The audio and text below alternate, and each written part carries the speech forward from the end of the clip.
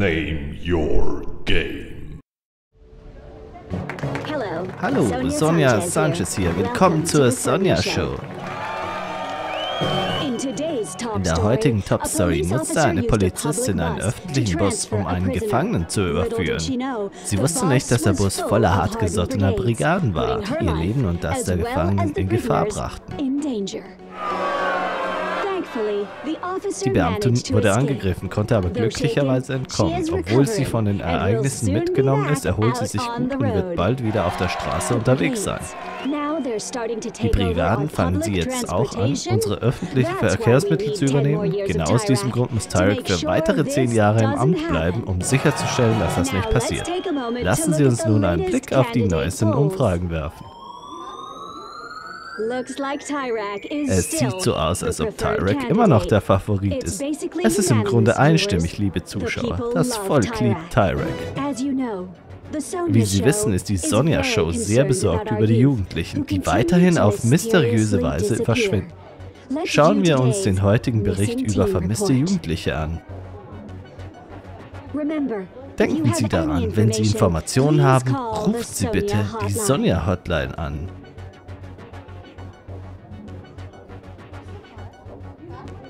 Da können wir was machen. Vermisst seit fünf Tagen. Alter 14, 17 Dollar, zuletzt gesehen 2040 Kilometer von der Grenze. We count on your support.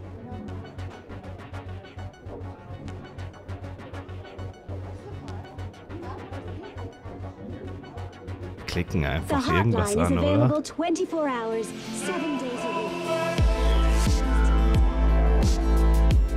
20. Juni 1996. 2040 Kilometer zur Grenze. Du kannst jede Rufnummer anrufen, die du findest. Vielleicht kannst du auf diese Weise einige Geheimnisse aufdecken.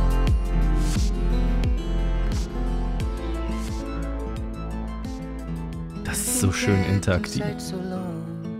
Ah, das ist Zoe, die versucht per Anhalter zu fahren.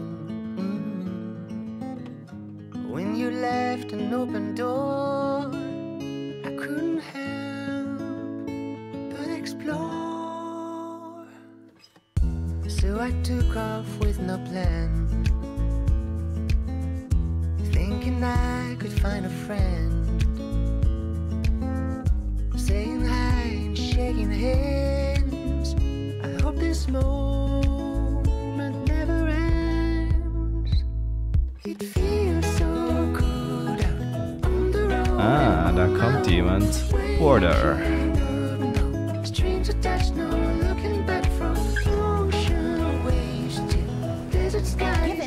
No concession. Bei all der Feindseligkeit ist es normal, dass die Polizei hart durchgreift. Warte mal, sagst du etwa, dass die Polizei berechtigt ist, Gewalt anzuwenden? Ich bin froh, dass du hier bist. Jetzt bin ich nicht die Einzige, die dem ausgesetzt ist.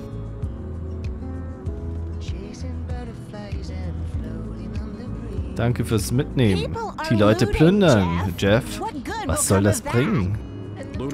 Plündern macht Sinn, wenn das System so kaputt ist. Glaubst du, die reden immer so?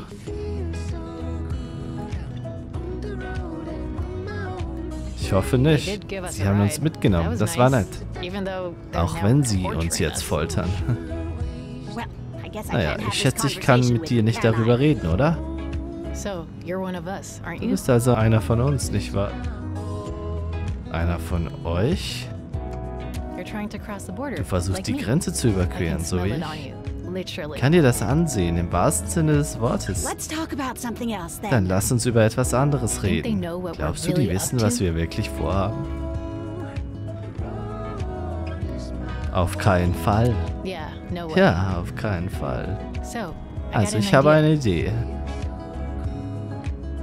Ja? Lass uns dieses Spiel spielen, das ich gefunden habe und Musik hören. Hier, nimm meinen Walkman. Warte, hast du das schon mal gespielt? Ich kenne gern die Stärken meines Gegners, bevor ich ihn platt mache.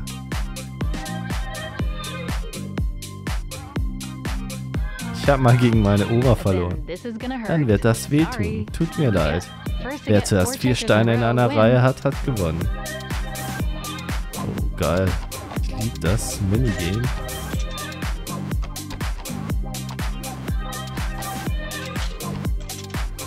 Hat schon verloren.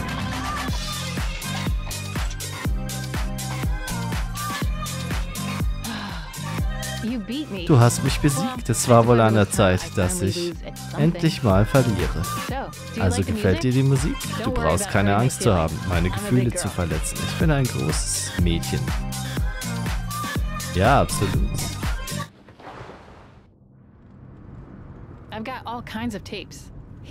Ich habe alle möglichen Kassetten. Hier, du bekommst eine Sammlerstück gefunden.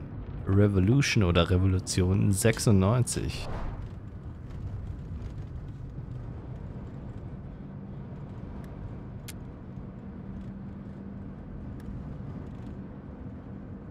Warum willst du die Grenze überqueren, um ein neues Leben anzufangen? Nein, um ein Leben zu haben. Mein Vater denkt, ich habe Glück, dass wir ein großes Haus haben und ich auf eine Privatschule gehe. Aber ich nicht, glaub mir. Sind die Dinge kompliziert mit deinem Vater? Ja, kann man so sagen. Hör zu, ich werde dir etwas erzählen, okay? Vielleicht sollte ich das nicht, aber ich habe das Gefühl, dass ich dir vertrauen kann. Mein Vater ist der Ölminister. Wie bitte? Auf keinen Fall. Nicht so laut. Habt ihr etwas uh, gesagt? Äh, nur, dass du einen tollen Wagen hast. Dein Geheimnis ist sicher. Danke. Ah. Ich fühle mich jetzt besser, jetzt wo ich es jemandem erzählt habe. Ich wollte es diesem einen Kind erzählen, aber wir wurden bei unserem Campingplatz rausgeschmissen, bevor ich die Möglichkeit dazu hatte. Könntest du das einfach vergessen und denken wie vorher? Wie habe ich vorher über dich gedacht? Als dieses exquisite Wesen, mit dem du das Glück hast, die gleiche Luft atmen zu können. Ich kann es auf jeden Fall versuchen. Danke. Hey Kids. Oh, viel Glück. Darf ich dich was fragen? Natürlich.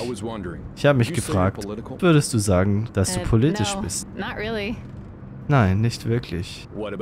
Und was ist mit dir? Nein, bin ich nicht. Aber du haust ab, weil Petria Probleme hat? Und bitte streite das nicht ab.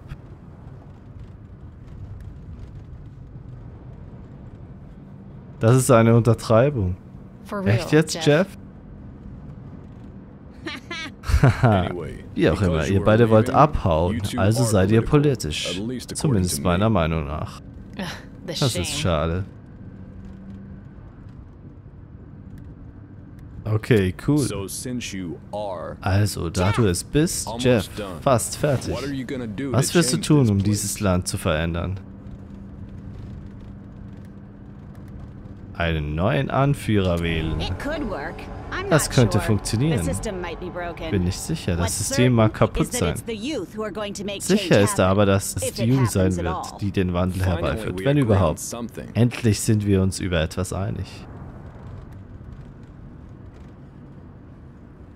Wir werden eine Veränderung schaffen. Ich bin froh, das zu hören. Oh, oh nein, Verkehrskontrolle. Bist du zu schnell gefahren? Nein, ich meine, ich glaube nicht. Oh shit, was machen wir denn jetzt?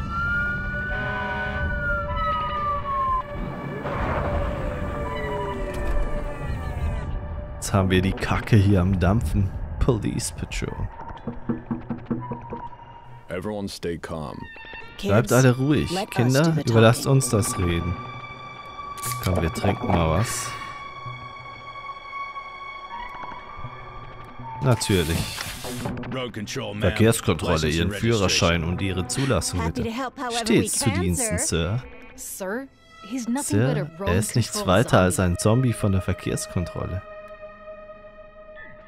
Sei still, Zoe. Sind das Ihre Kinder? Nein, ich nehme sie nur mit. Ich verstehe.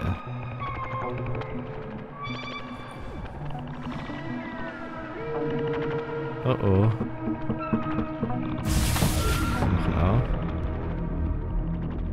Wie geht es Ihnen, Officer? Also, okay, kleine Lady, du scheinst ein wenig nervös zu sein. Ja, alles in Ordnung. Sag mal, du siehst aus wie eins der Kinder auf den vermissten Plakaten.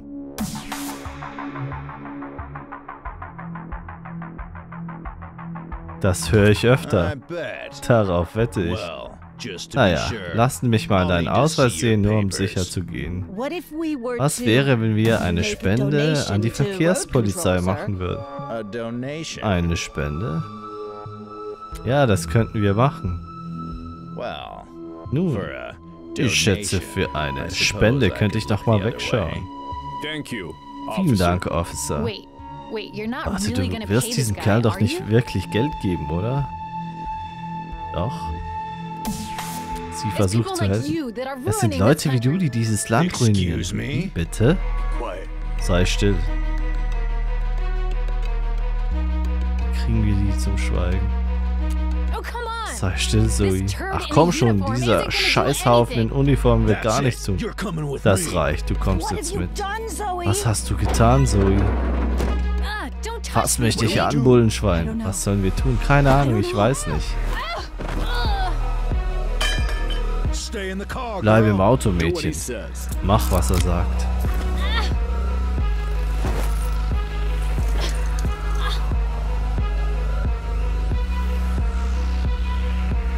Es geht schief.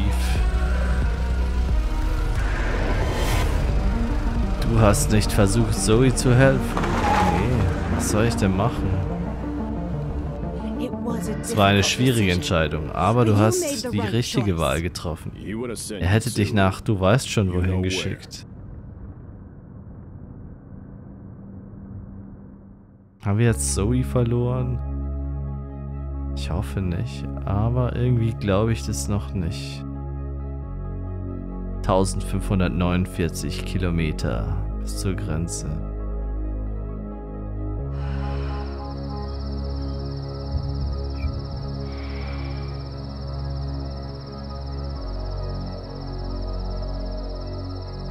21. Juni 1996.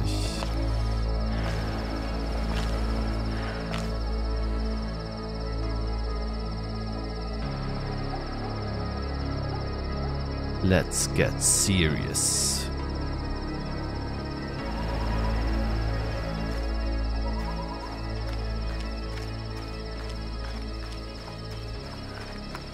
Wir entfernen uns mal von der Straße.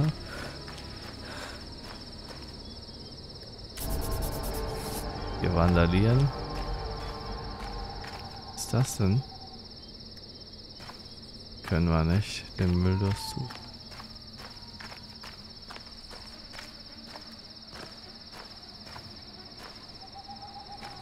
Hier können wir auch nichts holen. Können wir ja gar nichts machen. Hier mal mit dem reden. Hm, Chucks hat aktuell geschlossen. Renovierungsarbeit.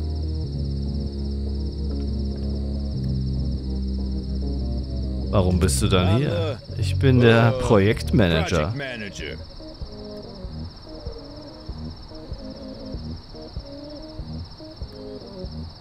Ich muss auf Toilette. Du und der dünne Typ. Na los, geh schon, aber beeil dich. Dankeschön. Ich habe gewonnen. Rück die Scheine rüber, Robert. Ich bin raus. Möchte jemand anderes es mit dem Kerl aufnehmen? Ich nicht. Papa Bär hat einen Airhockey-Pakt mit dem Teufel geschlossen. du hast John kennengelernt. Ihr seid alles Schwächlinge, aber was ist mit dir, Kind? Ich probier's mal. Wir haben einen Herausforderer.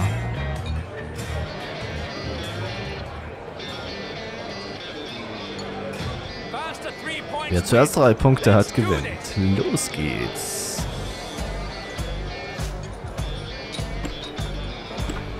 Okay.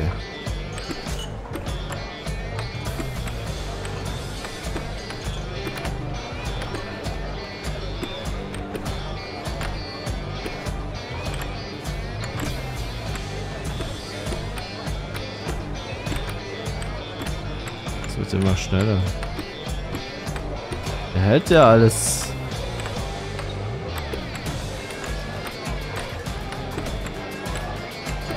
Asozial, ey.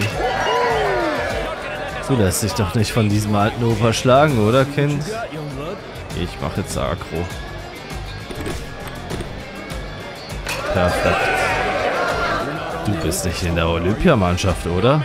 Du hast mir den Tag versüßt, Kind.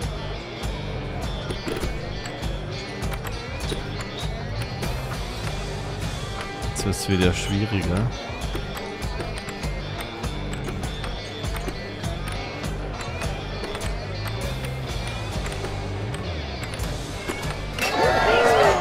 Wenn ich nur einen Drink nehmen könnte, dann würde ich zur Wand werden.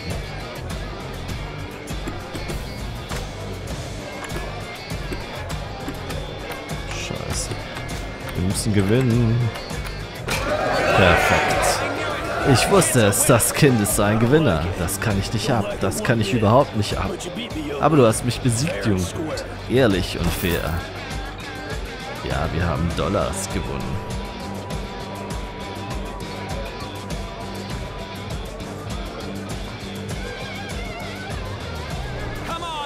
Kommt schon, Drinks für alle. Ich bezahle.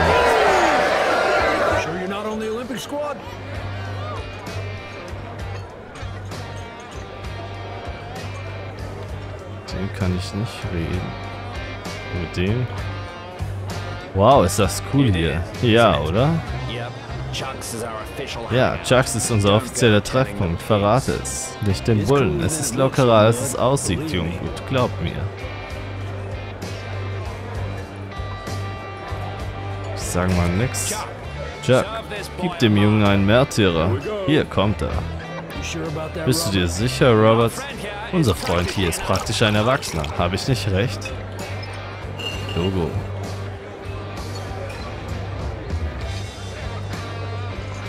Hey, ja klar bin ich das. Trinken. Cheers.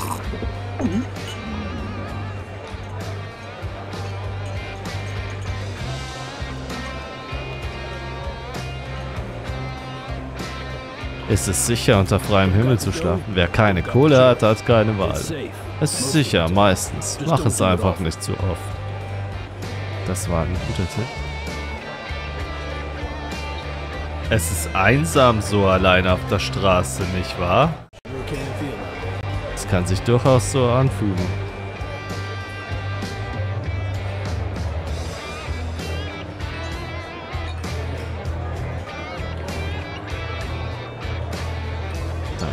Hier noch? Habe ich dich vorher schon mal gesehen? Mich? Nein. Ich heiße Robert, Kind. Schön, dich kennenzulernen. Ja, freut mich auch. Weißt du, ich glaube, es gibt einen Grund, warum du heute hier bist. Vielleicht solltest du weitergehen, Jungblut. Es wird langsam spät.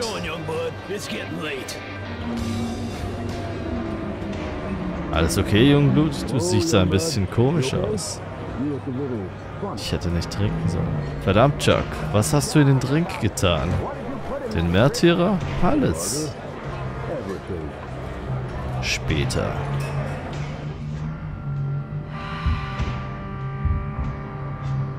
Nicht sehr erholsam. Kind, wach auf. Wach auf. Vielleicht war das gar nicht so schlecht, weil jetzt können wir seine Wohnung ausrauben. Märtyrer sind gut. Haha, ich verstehe. Komm schon, ich will dir etwas zeigen. Etwas Großes. Jo, dann zeig mal.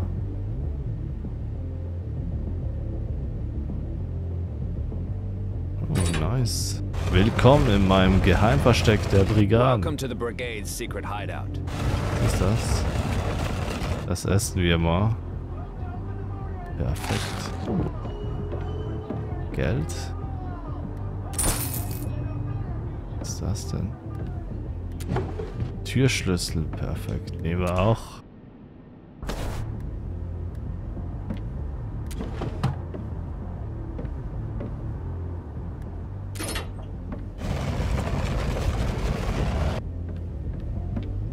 Sonst nichts mehr bin schon gespannt. Ah, hier gibt es allerhand Dinge. John und ich waren 1986 an der Grenze. Die Brigaden gibt es schon seit vielen Jahren.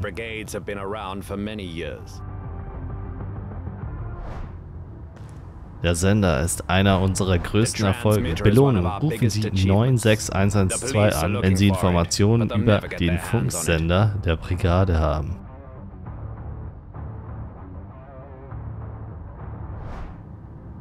Wir haben viele jugendliche Informanten. Wir hoffen, dass es einer rüber schafft und uns von der anderen Seite helfen kann.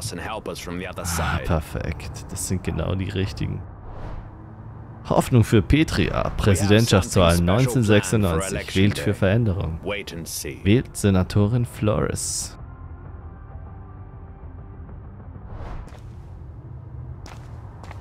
Sonst haben wir hier wohl nichts mehr. Du wolltest mir etwas zeigen? Ja, das. Was macht das Kind hier, Robert? Egal. Das Kind ist politisch. Außerdem sind wir nicht auf der Suche nach frischem Blut.